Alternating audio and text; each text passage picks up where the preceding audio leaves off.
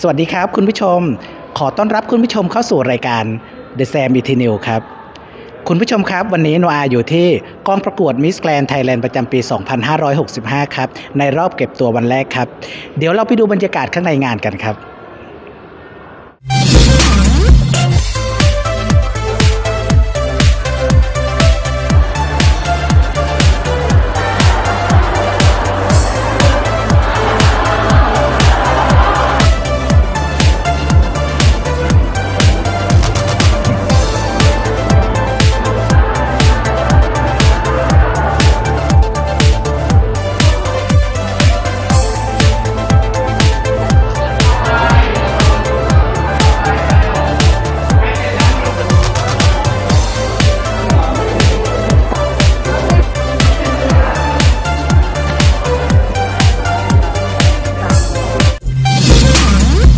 มหานี้เลย อยู่กับพี่นวัดของเราสวัสดีค่ะ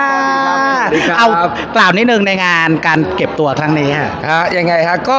นับหนึ่งจากวันนี้เป็นวันแรกก็อีกยี่28วัน เราต้องอยู่กับความสวยความงาม และความท้าทายของผู้หญิงที่แบบเป็นตัวแทนแต่ละจังหวัดฮะก็สนุกดีครับ ปีนี้ 10 ปีด้วยนะฮะอย่างที่เห็น 10 year anniversary ก็ต้องไม่ธรรมดานะฮะมีรางวัลมากมาย แล้วก็มีอ่าเขาเรียกว่า talent แปลกๆ ให้น้องได้เล่นกันนะฮะปีนี้ก็ตามหานางเอกหมอลำแน่นอนนะครับเดี๋ยวอีก2 วันนะครับพระเอกหมอลำนะฮะที่คุณรู้จักกันดีก็จะเดินทางมาอยู่ที่นี่นะครับ แล้วก็แล้วก็ไฟดับนะฮะแล้วก็มาแคสหากันว่า เออใครนะน่าจะเป็นนางเอกประจำวงอืมซึ่งน้องจะมีอาชีพทันทีได้เงินสด 1 0 0 0 0แสนเป็นรางวัลพิเศษว้าวแล้วก็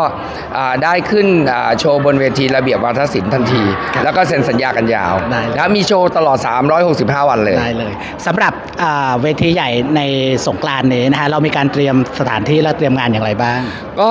รอบขวัญใจจังหวัดนะฮะก็คือขอนแก่นก็ทุกอย่างเรียบร้อยนะครับเพียงแค่ว่ามาตรการของทางรัฐบาลก็ให้ระวังเรื่องของการเล่นน้ำเพราะฉะนั้นมันก็จะมีการลดทอนลงไปบ้างพอสมควร เราก็ทำตามนโยบายของผู้ใหญ่และจังหวัด แต่ก็น่าเสียดายนะฮะที่แบบเอาจริง ๆ แล้วเนี่ยเอ่อผมเพิ่งเดินทางกลับมาจากโคลอมเบียเมื่อคืนนี้ นะครับไปเปรูเอกวาดอร์มาตอนนี้เรื่องโควิดเป็นเรื่องปกติแล้วอะอ๋อมันเป็นเหมือนกับไข้ประจำท้องถิ่นไปแล้ว เพราะฉะนั้นไม่ใครไม่ค่อยมีใครซีเรียสแล้วอืมซึ่งแบบอยากจะให้ประเทศไทยอะเอ่อเล็งเห็นถึงสิ่งที่จำเป็นมาก ๆก็คือว่าเราต้องเดินหน้าต่อ เพราะว่าโรคทุกโรคมันมีการเป็นแล้วมันก็หาย แล้วก็มีการเสียชีวิตได้กันทุกโรคอยู่แล้วนะครับเพราะฉะนั้นสถิติการเสียชีวิตของโควิด -19 น้อยกว่าความดันเบาหวานหัวใจมะเร็ง แล้วก็อุบัติเหตุมากมายฮะได้เลยสำหรับอ่าปีนี้นะฮะอยากให้พี่ณวัฒน์เนี่ยกล่าวชวนเชิญพี่น้องคนไทยทั้งประเทศเลยครับ นะฮะให้ส่งกำลังใจถึงสาวๆ Miss Grand หน่อยครับผมคืออยากให้ติดตามนะฮะเพราะว่าเราไม่ใช่เป็นเพียงเวทีประกวดนางงาม แต่เราเป็นการฝึกนะฮะเด็กรุ่นใหม่ ให้มีคุณภาพ กล้าพูด กล้าคิด กล้าแสดงออก แล้วก็เป็นแบบเหมือนกับ leader ของคนรุ่นใหม่มากกว่า นี่คือสิ่งที่จำเป็นมาก ๆ เราไม่ได้ประกวดที่ความสวยอย่างเดียว เพราะถ้าความสวยมันหาไม่ยาก แต่ว่าหาคนคุณภาพมันหายากฝากติดตามด้วยละกันครับ ได้ขอบคุณพี่นวัดมากครับขอบคุณครับขอบคุณครับ